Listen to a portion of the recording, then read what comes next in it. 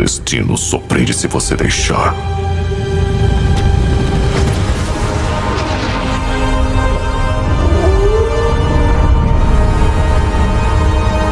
Faça o que for necessário. Não porque estava escrito.